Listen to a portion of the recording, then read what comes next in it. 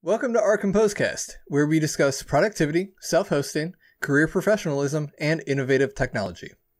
Here to bring you the latest from the open source ecosystem and beyond is yours truly, Andrew Syriac, and with me is my co host, Jack Moore. How are you doing today, Jack?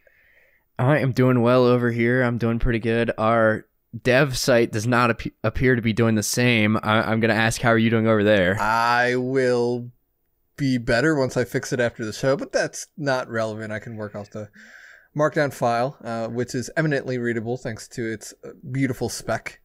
Um, but besides that, we will. Uh, if you if you bear with me, I'll, I'll get it up and ready uh, as soon as possible. Yeah, we have no. Oddly enough, no intro items this week. We do have a lot of developments, and we do have uh, quite a few community updates uh, that I found somewhat entertaining this week. Uh, I'll, I'll, just jump right into them. Uh, the first one, kind of a small one here. Uh, Firefly 5.6.5 was released. Really, nothing huge uh, going on. It's just quite a few bug bug fixes that were going on, uh, and then he's. It looks like uh, they're continuing to develop on LDAP, which was integrated recently. so in the 5.6.5 notes, release notes, uh, he just kind of covers that. Uh, there was one issue I found kind of funny, which was uh, issue 5245. Uh, I don't know if you have it right in front of you. It's quote, fix various weirdly formatted amounts. And if you open up the issue, it shows basically in the budget, uh, someone's trying to create an amount and what's showing up is 300 comma and then about 25 zeros Im- immediately after so i don't know who's counting down to that many decimals maybe tracking in Bitcoin or some kind of coin. who, who knows? But uh, that one was a fun one. Um, other than that, nothing major on that release. Now, we did have some other big project updates with Dolibarr uh, jumping into their 15 beta, which, if I'm not going to go through this entire list, there is, I want to say, 50 items mm. that have been updated. Uh, the most notable uh, I guess, addition or removal is that you know that your favorite service there, the point of sale, a module that you can add in for point of sale systems. That module, unfortunately, the simple point of sale module has been completely removed. Uh, they now they now have, I guess, a new one which is called Take POS, Take Point of Sale, uh, which is used. But uh, you can go through and look. There's an entire huge list out there. With these, what I loved with this one was they have this freeze definition. So moving to 15 beta, it looks like they have I don't know how what their architecture looks like, but basically they go into these maintenance stages and uh, freeze stages, and they're in a, at a freeze stage right now. So basically, the only additions that developers can contribute are essentially bug fixes. And I'm going to pull up the notes here on what it is. When we, I'm going to read it here. When we make a freeze of code, it means we start the beta period. It does not mean that we must not change code. It means that we can do the same thing. It means that we can do something. It means that we can do something and we can't for some other. Poorly worded, but okay. Uh, I'm pretty sure Laurent is French. Um, okay, so that that would that would explain that, that. makes sense. Yes. That makes a little yeah. broken English, poor English there, uh, but it basically goes into what the freeze looks like, and I found this very interesting because I had not thought about this. Basically, it blocks any kind of architectural change. If you want any kind of architecture change, you're basically not allowed once this thing hits beta. The only changes that are allowed are fixes, style changes, and updates to I think it was language. Uh translate and when I say language, translation. So they have that freeze definition out there and then they have a maintenance. Basically once it gets out of beta, it goes into maintenance and that's really just bug fixes all around. But awesome to see that Dolibarr is moving from 14 to a 15 beta here. Uh, I'm excited to see that. Uh, and don't know if you have any anything you want to comment on that one or anything to add with that? It's it's very easy to see a large number and and think, oh, development, you know, must be be going really really well. Um, and and actually, that's the exact tact that Firefox took when they switched their versioning from their like 3.x series, and within six months they were at 12. Six months later they were at like 36. I was like, what? what why? Hang on, why yeah. you do this? Um, so it's good to see that the numbers mean something to them, uh, right? Especially with that freeze definition, so you can uh, get a, a concept of, of what's going in there, um, and and they do have it laid out here pretty well. So super happy to see that. That that is indication to me of a healthy ecosystem. it's a growing pro it's absolutely it's a growing project uh i think skipping ahead here to another growing project i'm going to skip right ahead to Suite CRM 8 and this is another one another update. Suite CRM 8 is quote here. And i love this because when they last posted about 8 it was 2018 and they start off this post with after many months in the making. Many months. Not wrong. we're ex- Not inaccurate. we're excited to share with you the most advanced and sophisticated upgrade to date uh, one that promises to give you even better control of your data and business solutions and they kind of go into this whole covid pandemic spout and just kind of it was more a pr post than it was uh, release notes Yeah, it magnified I- the I- need for our enhanced CRM capabilities as online marketplaces became saturated. They say with new companies and consumer demands shifted at breakneck speeds. Okay, so that that's great, but if you go back to their post saying new user interface in Suite 8, Suite CRM 8, basically this is why it took them 30 months. Uh, they did a complete rewrite of their UI. they went through and they rewrote everything, I believe in Angular, Mm. uh, with an API first development approach. So after many months, there's there's your reason why it took many months. Um, I, I thought that one was kind of fun.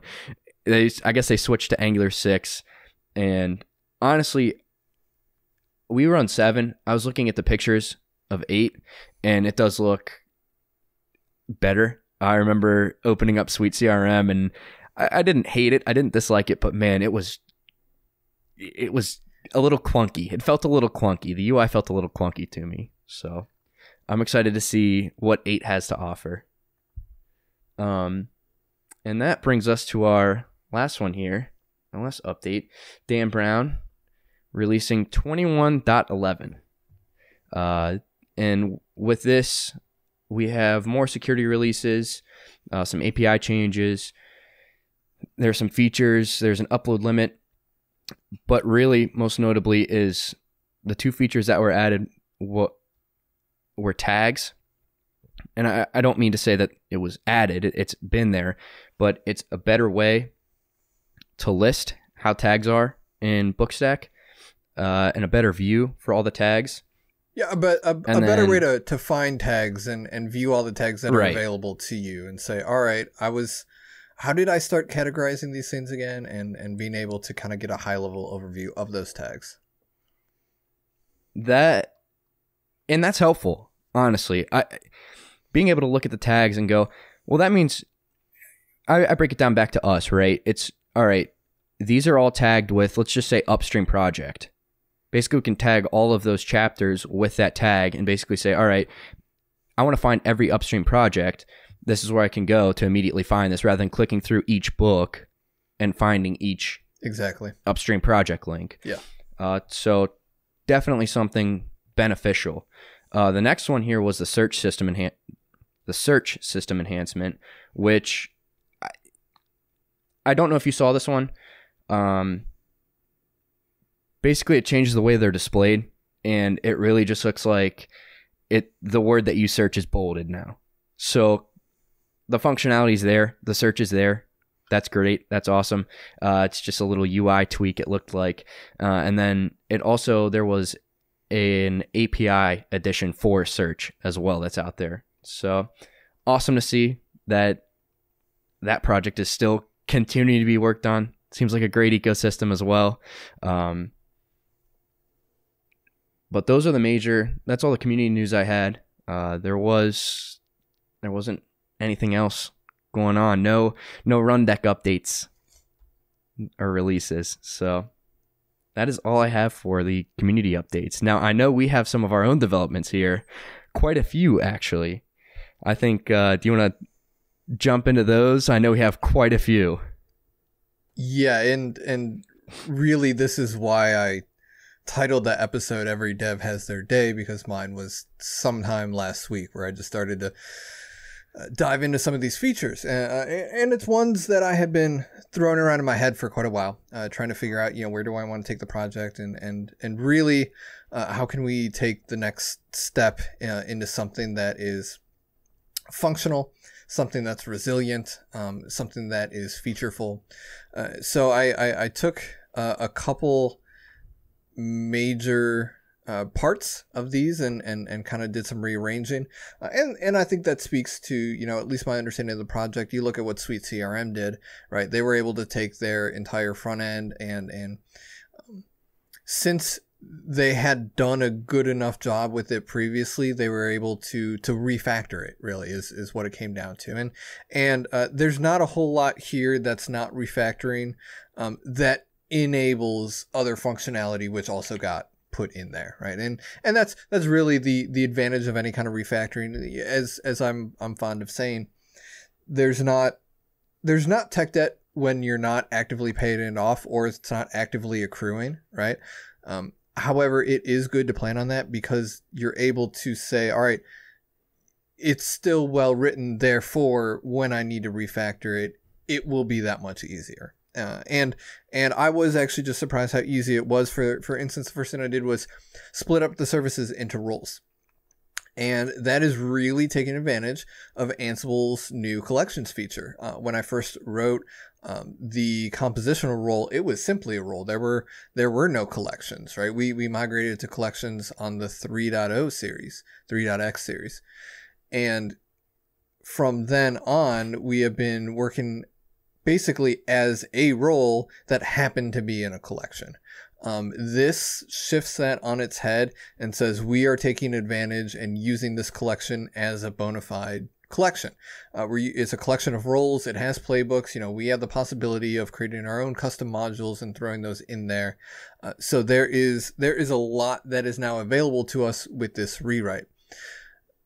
Um, especially that now enables us to start implementing present, stopped, and absent states of services, which is um, not to spill the beans, but it's it's basically the the biggest step forward that that we're going to take probably in the next six months, if not year, uh, because that's going to enable a lot of stuff in the front end, a lot more management via portal uh, of the services right. that are running on your instance.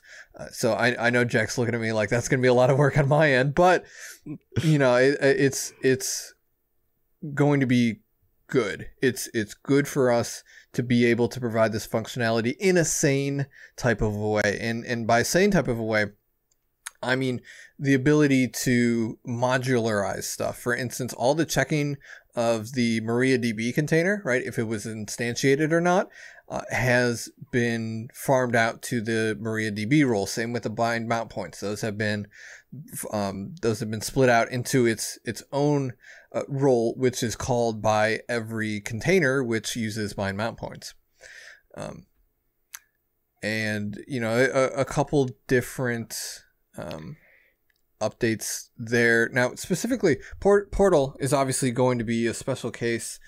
Um, I, I like to try not to treat it as such, if at all possible, because it should just fit into the paradigm. But it really is what allows for all the functionality here. Uh, and as so, there is a part in which it sets up the socket that it runs on. Uh, so that it, it it sounds very recursive, the way that it needs to call and set itself up um, if it's doing maintenance on itself. So like handling that um, was was something I, I, dove into because I was like, you know, I, we want this to be self-hostable, right? We want this to be uh, infrastructure agnostic. You know, it can't be dependent it has to be independent of our infrastructure. So how do, how do we make that happen? Uh, and a lot of that revolved around commands receivable, which got a lot of love. Um, specifically, moving to uh, branch branches of the project Uh, whereas before we were simply cloning down the master uh, of of the the project. So all of the playbooks, um, all of the scripts were all master. Now it's separated into stable major versions, so stable three, stable four.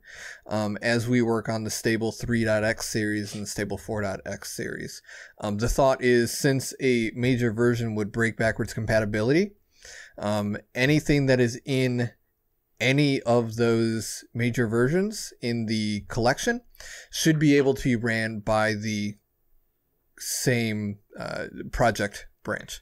So so stable 4 should be able to run any stable 4.x series. Um, and and just a lot of scripting around that, um, and a lot of cleanup. Uh, I I noticed that we were leaving Docker containers around as we were building them to run commands receivable. That was taking up space on disk, so we definitely want to minimize that. They now remove themselves. Um, one of the other th- interesting things is that when we're running playbooks, we were running it on localhost comma as the inventory file, which is just the local host. Um, however, that does not pull in the group vars for the rest of the play. So now we are echoing the localhost into an actual inventory file and running it from that inventory file. Uh, this now allows us to pick up the group vars directory that is inside of the environment directory. Um, and then a lot of hacks around that environment directory too. Not not hacks, but a lot of using it inside of Portal's ecosystem and on the host as well. Uh, so there's there's a lot where that duality is being used, um, where where where the same file is accessible via the host or via the Docker container. Um, a couple things specific to accounting. Um, so, so to jump in, uh, Jack helped me out with accounting. So, uh, I'm just going back and cleaning up a couple of the, the things here. I'm being a little bit nitpicky, but you know, let me, you know, it's, it's my baby. So okay. I, can, I can do what okay. I want. Um, okay. Accounting does have a built-in setup, which we had called previously as an additional task. Um, the problem with that, and, and this kind of all stemmed from me putting volumes in por- in accounting, and that that broke a lot of a lot of stuff because didn't like that. Well, no, it didn't because when you bind mount something onto a container, it overwrites that directory inside of the container, and then it's up to the entry point to resolve that. And a lot of PHP apps will in the container, it will install it into user local source or just user source, and then rsync that entire directory over to like var www.html, like where where your regular web server would be looking for. Accounting doesn't do that. Uh, it just sits everything there and pre-populates the modules directory. So when I mounted the bind mount point onto the modules directory, it overwrote the modules directory and refused to build because the modules that it needed weren't there. The fix uh, I ended up doing because I, I'm not I, I submitted an issue to upstream, so I'm waiting on upstream to to work around that, which is the correct way to do it. In the meanwhile, what we're doing is we are spinning up a temporary container, copying those files into the the bind mounts um, before we build the container. So it's it's an additional spin up of a container, but that takes you know under a second. So I'm not I'm yeah. not concerned about the the actual time that takes, and it's idempotent too. So we should be fine on that front. Um, and then the only other thing I noticed with accounting is it didn't have any health checks, so I wanted to go in and run those, and those were failing, which is kind of what led to me finding all the rest of this other stuff. Um, and then talking about specific other uh, features of the instance, uh, Portal and Command Center. Um, actually, Jack, I'll let you talk about uh, Portal and Command Center here.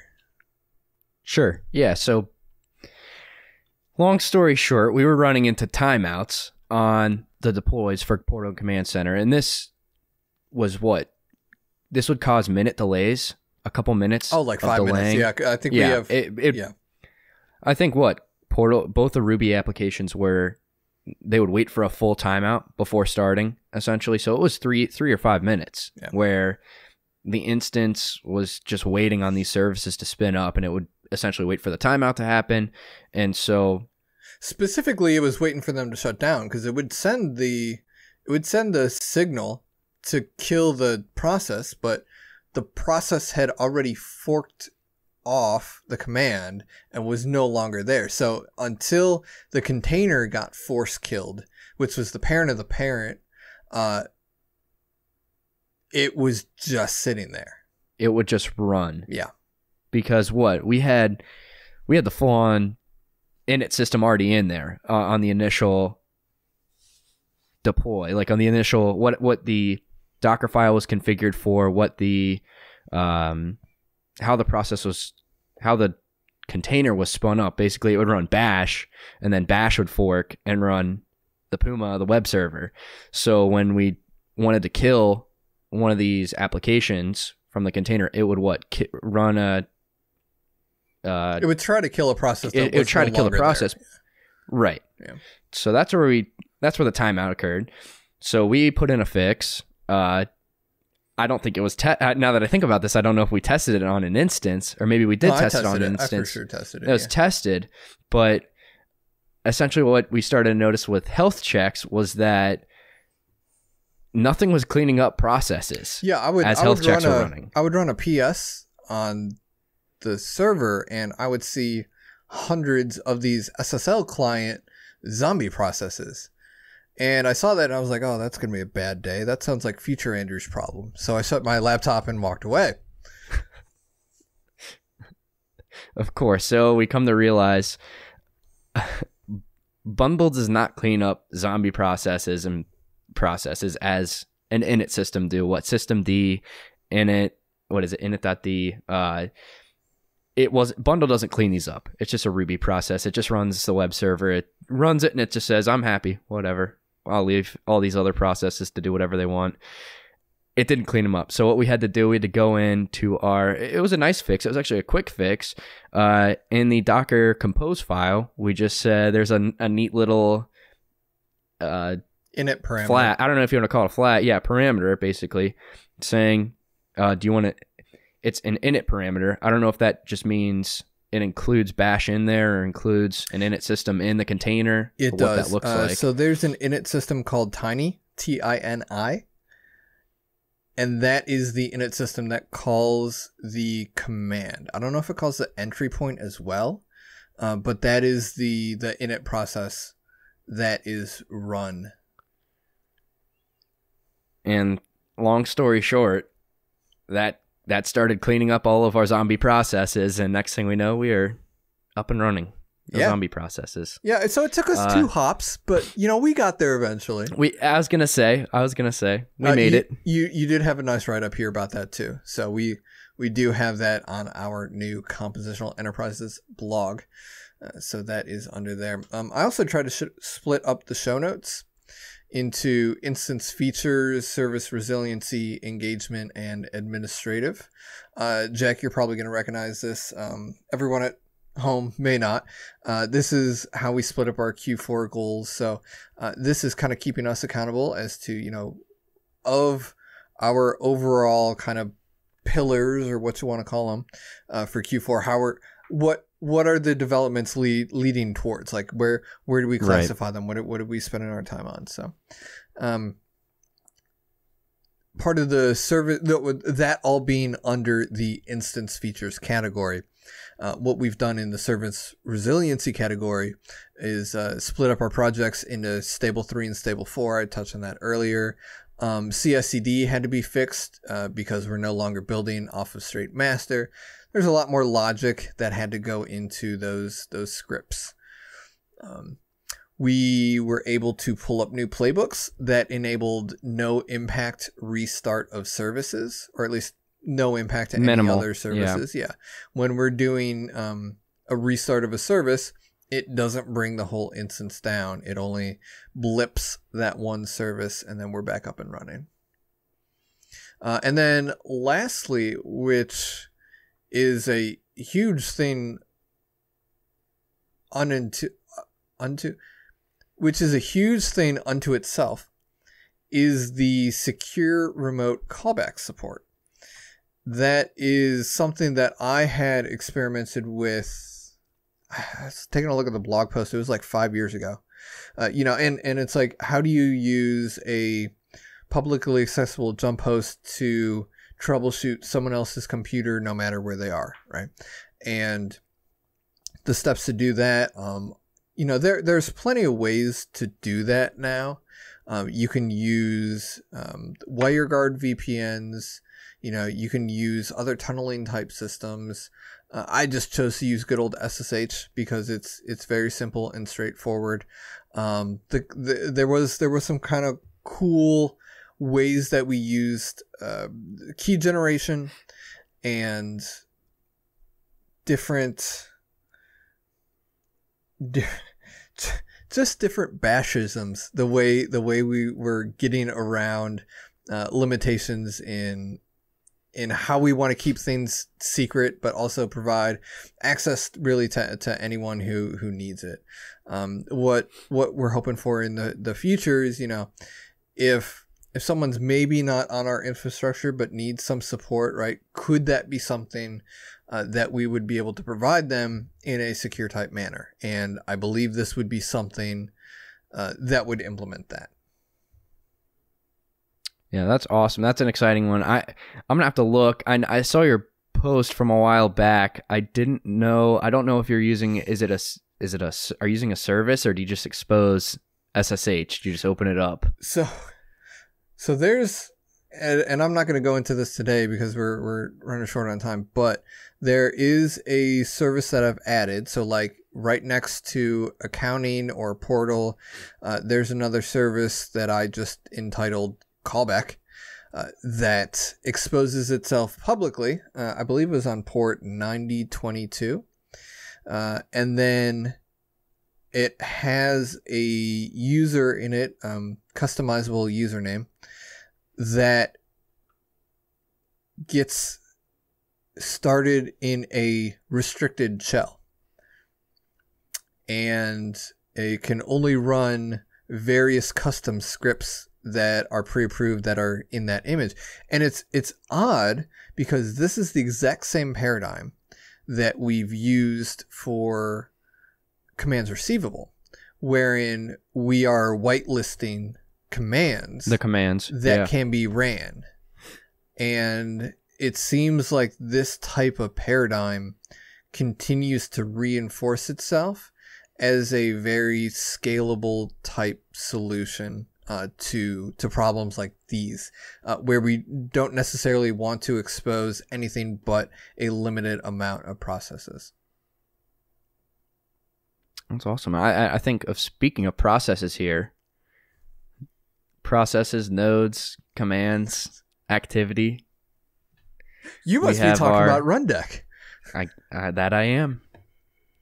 Well, I can talk on that today, um, as I have put together uh, the show notes, uh, slaved away uh, over them over the past uh, couple of hours here. So, uh, more than happy to to present on these. Now, I will preface a lot of this with saying um, we are going over the application interface here. This is not going to be as as in depth, right? Especially on a podcast, you know, even a, even a video podcast like this. This this is just not the medium uh, to to really get our hands into this. Um, I am still as I as I uh, have in the past and will continue to do. Uh, am going to be going over how we're using this, right? Our experiences with this, how we found this to be what has been useful to us.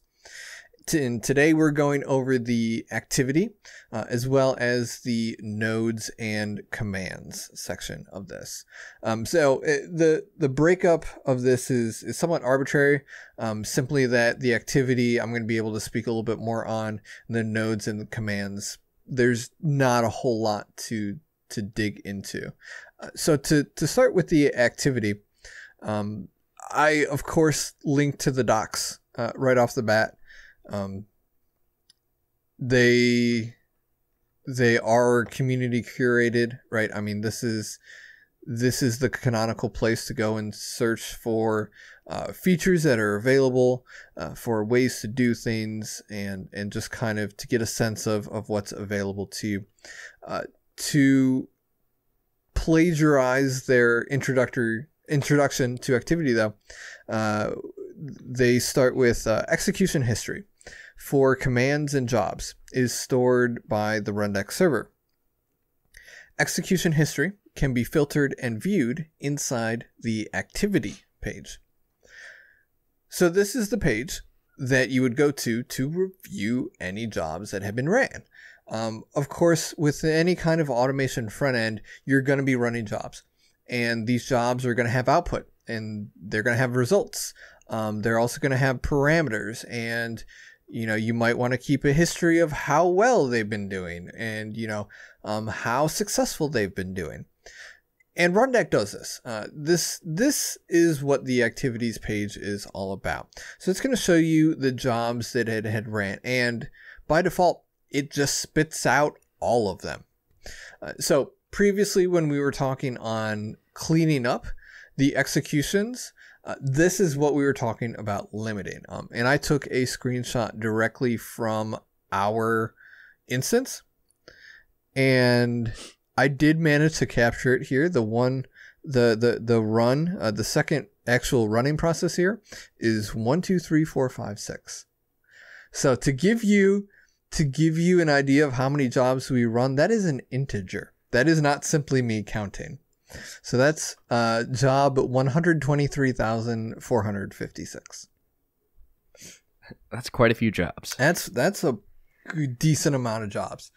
Um, that is starting when we ran all of our health checks every five minutes from this the CNC machine though. So I would expect it to be quite large. However, we're not keeping all of those logs like we we talked about before. I mean, it's 60 days, I believe, that we're we're keeping, um, or 90 days, I forget. Uh, either way, we're we're not storing all the way back to the beginning of time here. However, the ones that we do store are going to be available to us through this interface. And I point out a couple things in this interface, just real simple things. Um, I have I have uh, three kind of bullet points here, and these are the things really that I look at um, when I'm looking through my jobs. The first thing here is what are the running jobs. So yes, it does actually show you the running jobs in addition to the completed jobs. Uh, so it will it will show you uh, the percentage uh, completion based on previous executions.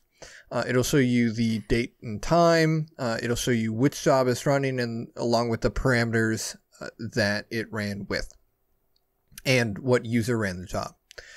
Uh, it also shows you the status of the job. So besides the running jobs, uh, the completed jobs will report as either successful, uh, marked by a green check mark and a OK text, like a like a one OK, which is the number of nodes. Um, but for us, there's always going to be one. Um, one. Or a failed job, which is marked with a red dash and a one failed text. Um, so those uh, completed jobs. There's also uh, stopped jobs, I, I, I guess um, I, I, left out there, but really the only ones that I'm concerned about are, are going to be the succeeded or the failed jobs. Um, note that the currently running jobs do need to be refreshed to get the latest update on this page, um, or the auto refresh box in the top right hand corner selected. Uh, and this kind of brings us back to our Rundeck is an interface on top of an API. Um, instead of automatically refreshing or you know providing a socket type feedback system, it's just going to want to pull the API to see where the job is at, much like uh, Jack actually already does uh, with his scripting in Portal. Um, and then, you know, what what do these actually do? Well, well, these are simply entries in a list. Uh, and selecting any one of them will take you to their log outputs where you can review the output, any any details and and um, everything else about them. Like for instance, this doesn't exactly say here uh, in the summary how long it took. If you wanted to find that out, you would want to go into the details page, um, and and much much more is available in there as well. The other note I have on activity is uh, regarding searching for prior executions. So, searching, I say here, is most successful when using the name field to search the name of the job you would like to find. The rest of the filters likely aren't going to be of much help. Uh, from there, you can look through the job executions to find the one you were looking for. Typically, that's going to be one that's recent. Uh, something that springs to mind for me is looking for different uh, environment creation runs, right? Because every time we create an environment, um, if we're just doing a temporary throwaway, we let Rundeck and the script that creates it for us create the vault password for us. We don't we don't rely on ourselves to come up with a random vault password. So we we let it create those for us, and then we use those subsequently uh, to to do any kind of testing, variable manipulation that we need. When I'm going to find those, um, I will look for any create new environment runs, and then I will look at all those that are sorted um, chronologically with the newest being on top and find the one I'm looking for by looking at the parameters. Now you would think, hey Andrew, why not just search for the parameter? Well, there's no field to do that. Um, and and I do I do point that out in the documentation here. There's currently no way to search by options um, or the variables that are passed to the execution, uh, but they are displayed on the front, which makes it easier than it would have been if I would have had to gone through each of the pages in detail manually. Uh, now, there is something I didn't put in the documentation because I wasn't exactly sure how to say this succinctly. However, when you go to run a job, like if you if you're at that tree view, the main the main jobs view, and you go into a job, at the very bottom there's going to be a tab uh, that says activity, and that's basically a predefined filter for all of the activity of that job. So it's it's basically doing the exact same thing, which is why I kind of left it off the documentation. I just want to say, hey, just just if you're if you're brand new to this, you haven't discovered that yet, that's fine. Just go to the activity section and find it there. Um, but if you are, um, say, if I ran five different, you know, RCR runs, and I'm looking back and, and was like, oh yeah, the one two runs ago failed or whatever, and I'm still on that page. I know that at the very bottom I can just pull up that activity and go right to the one that I ran uh, two times ago. Uh, so and that's where I find it the most valuable, honestly, is under activity for the actual job itself. I, I have not looked under. Uh, is there a default activity page that shows everything? Yeah, it's right under and, the job section on the left hand side of you. So I have not used that. I do not use that. I actually go specifically to the job and then I look at the activity pane under that specific job. So when you mention, you know, run compositional role, that's that's a bad example. When you run, create new environment, is the one I automatically go to because I'm like, all right, well, we just created the environment. What's the password? I know I created it. Uh, I usually end up scrolling over. I, I know we have the podcast for showing graphs, pictures, but basically are able to look at the parameters and say, all right, what what environment is this? What throwaway environment is this? Oh, it's this one, and I'm able to click on it and go, okay, that's where the password that was generated is. That's where I that's where I usually go. I tend to go directly underneath the jobs. Yeah. So and and uh, like I said, this is an API driven uh, application, web web application. So if you're able to make those uh, linkages, you know, intelligent like that, there's no reason not to just take advantage of that. So I'm I'm all for that. Uh, hopping over to nodes and commands, then. Um, once again, I'm, I'm linking to the documentation here, and, and, and especially because these aren't something that I've really had called to use per se. Uh, it's helped uh, sometimes in, in testing, uh, just being able to to get down to the, the bottom of things. But I would definitely go to the documentation, right? If if you're going to get started on these, first of all, there's so many different ways to connect to different nodes um, because not only is it you know a server but it's a an executable on a server uh, so you know it's going to be uh, a WinRM connection to a Windows jump host, or it's going to be an SS, SCP SSH connection to a, a Linux jump host, or you know maybe even network devices or uh, Kubernetes, you know, and and this could be this could be one of any different number of things. Uh, and this is where Rundeck's extensibility is not a place that we've touched yet, um, and, and nor have we really had a need to. But to go over our understanding of nodes and commands. Uh, a node, um, I am also going to steal from their documentation, is a resource that is either a physical or virtual instance of a network accessible host. Nodes have a few basic attributes, but a node's attributes can be extended to include arbitrary named key value pairs. Attributes typically describe the property of a node or reflect the state of the node. One of a node's built in attributes is called tags, which is a list of classifications or categories about that node. Um, so we should see that Rundeck by default is meant to contact all of the nodes independently, as opposed to how we're running it as a simple front end onto the CLI. Uh, that being the case, however, we do know a couple of tricks on how to do that efficiently. For instance, uh, in order to get a listing of all nodes, which by default it shows none of them. It doesn't show all of them, it shows none of them. So to get all of them, you would place a dot asterisk into the filter on the top, that being the common regex for any character repeating. So it's it's literally show me everything that matches the pattern that matches everything. Uh, and then in the Docker container, um, to, to kind of expand on how we use it, in the Docker container, Rundeck will always list itself as a node.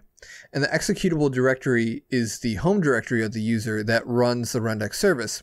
In Docker's case, the Rundeck user. So when I go into the container to troubleshoot something and I want to find where Rundeck has, has executed something or, or where a temporary directory has been set up, um, if it's anything that's not marked in an absolute path, it's going to be relative to the home users directory. So that's why it's important to know that it's going to be the home rundeck uh, directory.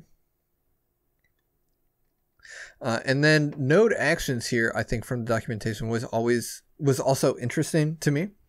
Um, the node actions menu contains links to run a command um, which choosing that item will forward your browser to the commands page, or to create a job. Choosing this menu item will forward you to the job create page um, and enter the filter expression in the edit form. So by default, we include all nodes available.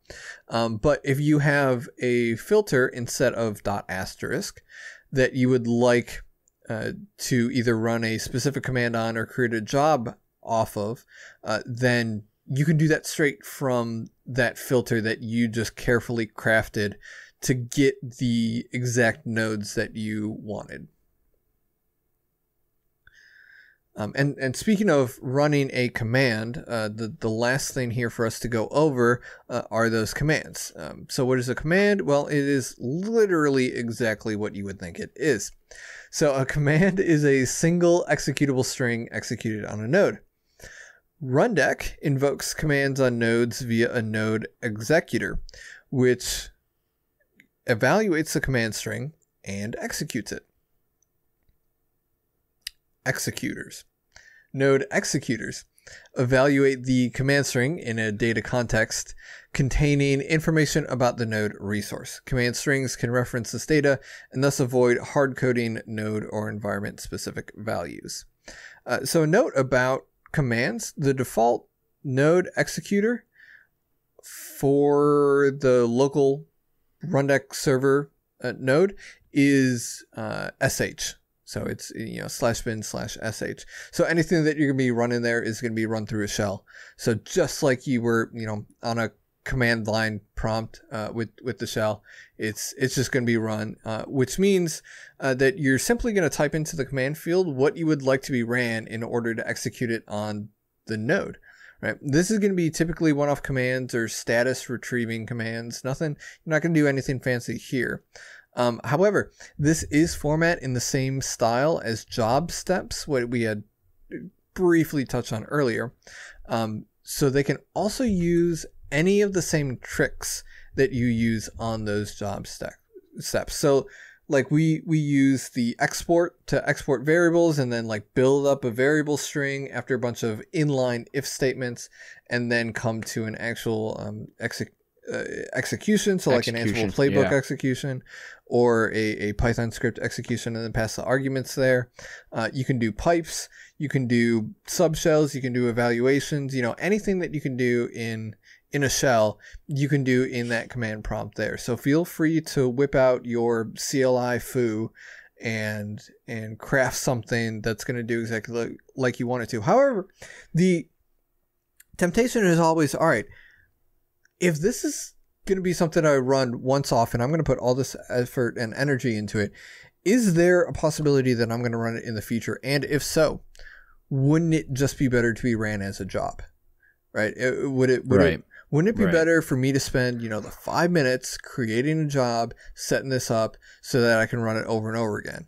Um, so something to think about. Keep in mind that the activity does hold the history of commands as well. So if you do need to rerun a command, you can find it in the activity as long as you're not, you know, wiping it out.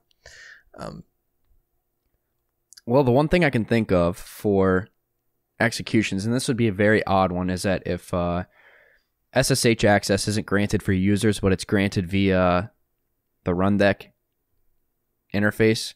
So essentially, if you need to run a command and it's not a job, basically you just want to. I, I'm trying to think of a good example, like DF. You know, just want to check the space on the on a server. Now I don't know why you would not let s- some users shell in. You know what? Fine. Don't let application developers shell in. Just let them run it from the from Rundeck, where it's auditable. Right? You can see who's running what commands on what servers yep. and then allowing them to just run whatever commands that you know you can run whatever command you want on your app server but you're gonna have to run it through rundeck we're not gonna let you and whoever and you're going to be running it as sign a right on. specific user with a specific Right. connection. So right that can that can also kind of whittle away at the potential for abuse there. totally. With all of that i did want to jump into monitoring here. I totally just went to the what is it google's sre book and the chapter on monitoring. And i've read the book before and one of my favorite parts is that they describe monitoring as the base that base level of they kind of match it to maslow's hierarchy of needs and they put mon- so they kind of create their own or whatever and they put monitoring at the bottom. And i thought to myself okay monitoring is great. What is it? Why do i need to do this? Am i going to sit and look at a dashboard all day? Do i need to get alerted for this? How are, how are alerts going to work? What do i need to get alerted on? I was thinking about this at work. I was thinking about this just in a home like you have your homelab environment. I've been thinking i wonder if he has a dashboard that he just pulls up and he's like oh yeah i've got this stuff going wrong. Uh, it looks like you know 80 million different pings and people trying to pen test me and my home network. What does this look like? Do i am i even aware of it? Right? And those questions started coming to mind. I started thinking about it. I'm like okay let me do it. Uh, let me look into logging monitoring all of this fun stuff for a little bit and see what i can come up with. Um so i have all these great notes here you can check them out. You, i'm really just going to link the page to the uh, sre book but essentially what it boiled down to uh, what i took away there were kind of a handful of main points uh, what monitoring is. So i'm just going to read the, the freaking definition here. Uh, collecting processing aggregating and displaying. I don't like that displaying word.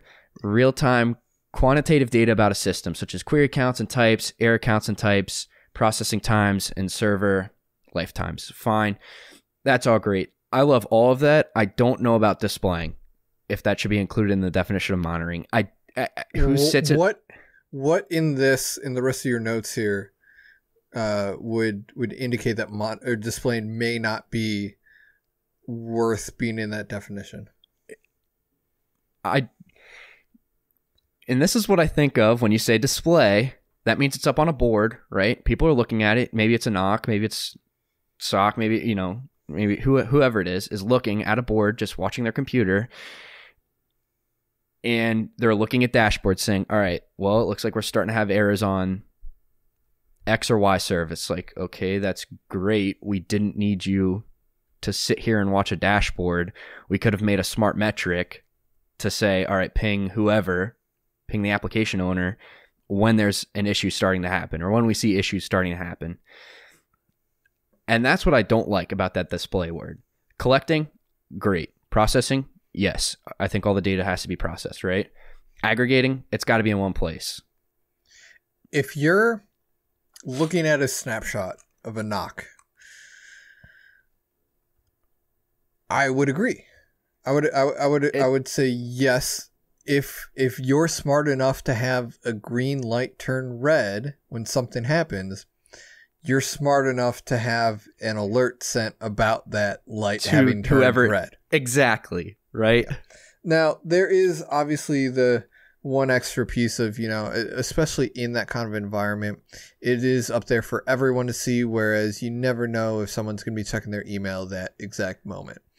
Um, the other thing is, as you are dealing with outages, um, outages that you may even not have been aware of before, like uh, outages that you haven't seen before, outages that, you know, errors that that you hadn't run into before, right? You can start looking at, and this is, you know, you could display things intelligently. You can display things in a historic type manner. You can see, oh, it looks like every day around midnight we dumped a whole bunch of RAM for no good reason, and then it started creeping up again, right?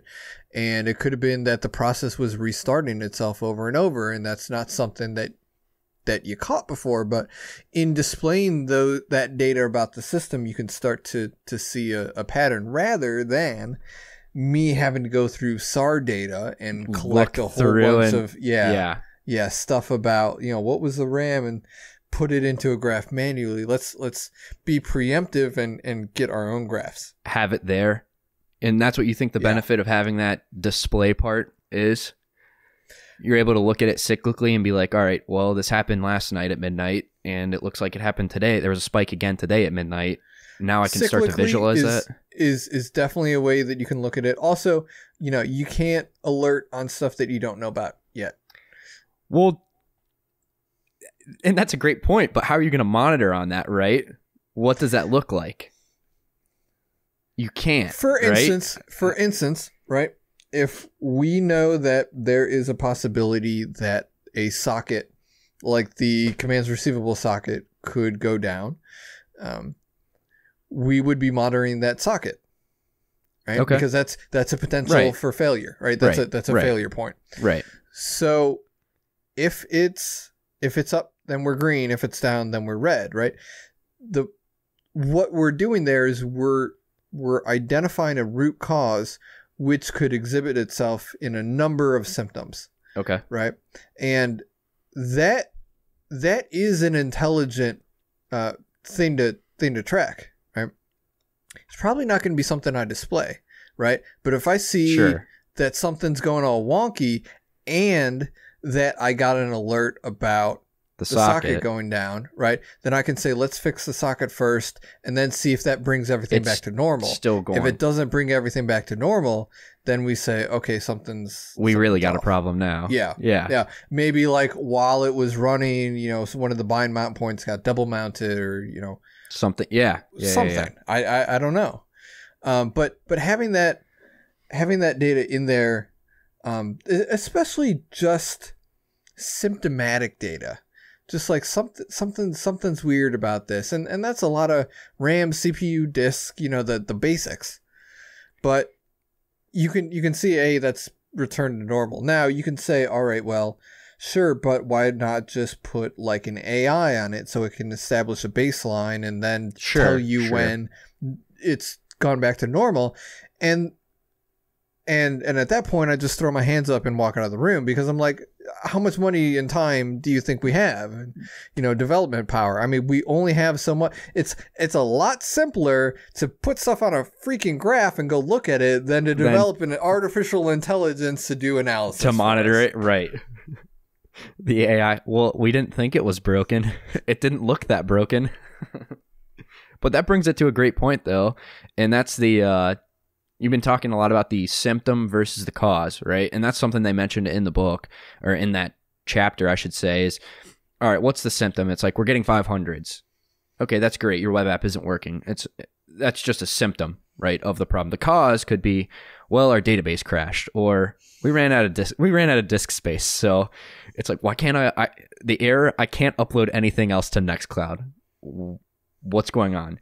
Oh, it looks like block storage is completely filled on the instance. That's that would be the cause. So they did mention a lot of that. Um, and then they went into some benefits of monitoring and the four golden they put their four golden signals out there. I absolutely I I don't know what you think on these four signals. I love them. I'm going to read them out here just so everyone's aware Okay, of them. Yeah. Uh, Latency, uh, the time it takes a service to service a request. Traffic is a measure of how much demand is being placed on a system, measured in high level system specific, a system specific metric. Uh, errors, which is the rate of requests that fail, either explicitly, implicitly, or by policy. This could mean, you know, we want to serve requests at the rate of I'm gonna make up something dumb. Don't ju- don't judge it. One, we're gonna serve one per second. We're gonna serve one request per second. That terrible, absolutely terrible. But you know, if it say you're serving one request per every two seconds, well, that's an error, right? That's showing up as an error. And then the last one here, saturation, how full your service is. And this one, this one kind of when when I think of this one, it, it immediately drives me down to physical like how much ram are we using right how much is the jvm using that I, I- think i go to java apps but how much is how much ram is a jvm using is it you know because those things can just get blown out of proportion right and it, it, what's what's why is there saturation is it requests not being fulfilled is there something else going on but those are the four i like all of them now i think monitoring for all of them is difficult.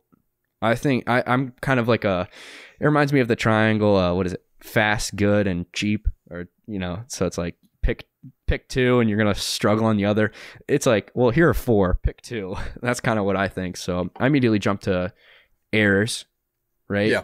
And then I jump to usually traffic isn't a big one, but I do like latency, right? Because that's that's what people notice. How fast is this thing coming to me? How, how am I how, how is this getting delivered? You know, do I have to wait? Do I have to sit here and actually watch the page load?